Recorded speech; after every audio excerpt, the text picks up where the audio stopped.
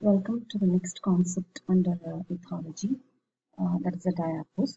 Diapause is actually determined uh, genetically and uh, um, by endocrine functions, and it is a state of dormancy, or we can say it is a state where, where uh, the development, metabolic activity, etc., are suspended or arrested during embryonic, larval, pupal, or adult life of an animal.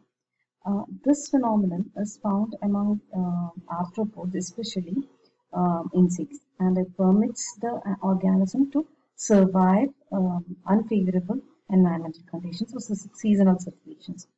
Uh, diapause is a unique adaptive mechanism for surviving um, uh, extreme um, climatic conditions like uh, low winter temperature or extreme summer heat. It could be lack of food supply, drought, etc and it begins uh, long before the onset of unfavorable conditions and persists even after the disappearance of the unfavorable conditions. So it helps the individual to tide over unfavorable environmental conditions. And uh, we can see that uh, this diapause, it is being controlled, uh, uh, influenced both genetically as well as by hormonal functions. Uh, diapause is frequently associated with seasonal environmental conditions and usually the, the organism they enter into diapause during the adverse period and uh, break from it on the return of favorable conditions. We can see it in many uh, group of organisms, um, but very specifically we can see it in the case of uh, what we call insects. Okay, there are two types of uh, uh, diapause. One is obligatory, and the second is facultative. Obligatory, as the name suggests, it is always it uh, this kind of a diapause occurs always at a definite stage in an organism's life cycle. Okay, so to uh, for the completion of the life cycle, the organism do undergo a period of diapause. So that kind of a uh, uh, diapause is known as an obligatory diapause. And here you can see uh, the, uh, the, that particular uh, diapause stage is actually an inborn without any immediate compelling conditions, uh, this particular diapause period occur. In uh, this kind of a, a diapause, each individual of every generation undergoes diapause as a normal part of its life cycle, uh, regardless of the environmental conditions, whatever happens outside. Obligatory diapause is common in those uh, species which have only one generation per year. And when uh, diapause is obligatory, the environmental effects uh, the environmental factors affects only during the, uh, uh, the duration of the diapause and never its onset. Now, facultative diapause is actually influenced by stimuli.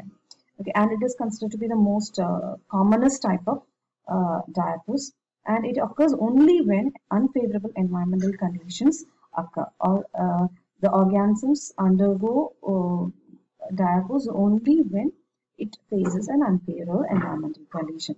Okay, so it, uh, it, it is it uh, the onset is triggered uh, with respect to the stimuli. The stimuli could be low moisture, low temperature, or high temperature, or high uh, uh, such kind of environmental conditions trigger the um, organism to uh, undergo diapause. As already mentioned, there can be different kind of reasons. One um, a major environmental factor that induces diapause is the actually the photoperiod. That is the day uh, length. Okay, the that is a light period and the dark period. How what is the duration? So that influences the diapause. Uh, unfavorable conditions of food supply, temperature and moisture also promote diapause, but the most important one among this is the photoperiod. Okay, then we can say we have already seen that uh, it is determined both genetically as well as um, by endocrine means. And one of the best examples for the um, hormonal influence on diapause is the uh, existence of diapause hormone in silk moth, Bombyx mori. And here the hormone determines whether or not the egg should undergo diapause. Okay. So the um, the hormone is secreted by a pair of neurosecretory cells situated on the subesophageal ganglion. I hope you remember that is uh, in the case of um, insects, they have a supraesophageal ganglion which represents the brain and the subesophageal ganglion which is actually the starting of the ventral nerve cord, isn't it? So here the um, uh, uh, what you call diapause hormone, it is being produced by neurosecretory cells which are situated in the subesophageal ganglion, And this hormone is produced uh, like uh, under the um, it is actually produced only when the, uh, the um, organism is exposed to long photoperiods. That is when the day length is very long, the uh, brain is triggered to produce this hormone. Brain, brain triggers the production of these hormone from the subesophageal ganglia. Okay, so the hormone directly influences the ovary to produce uh, eggs. Okay, these diapause eggs are darkly pigmented and these eggs then undergo diapause. Right, and since the release of diapause hormone is uh, stimulated only by uh, long photoperiod, silkworm, uh, silkworms developing during the short photoperiods uh, uh, and spring, they do not release diapause hormone. So they uh, lay non-diapause eggs which are non-pigmented and they do not undergo diapause. So I hope it is clear. That is in the case, in the case of uh, the silk moth, they produce the when the silk moth the adults are exposed to longer photoperiods. What happens is the brain is triggered to stimulate the subesophageal ganglion to produce the diapause hormone. This uh, diapause hormone produced by the subesophageal ganglion, it uh, actually influences the ovary to produce uh, eggs which are referred as diapause eggs. They are highly pigmented or darkly pigmented.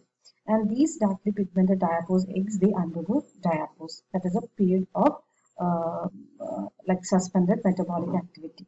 Okay.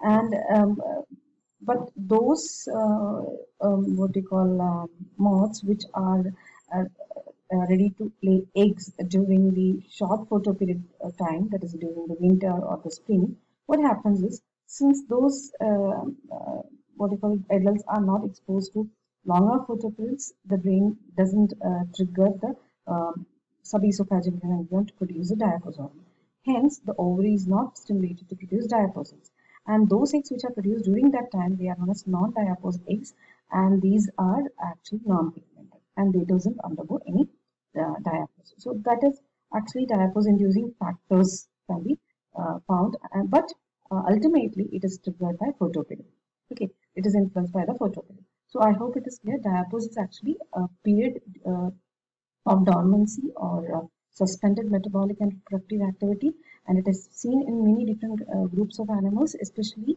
uh, arthropods and specifically under the arthropods insects are the prominent ones which show the diapause.